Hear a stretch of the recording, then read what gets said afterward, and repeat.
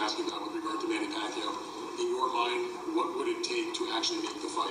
As right now, I want to enjoy my time off. Uh, we don't know who we're going to be fighting today. You know, we don't know what particular opponent. We're not in a rush because once again, we're the A side.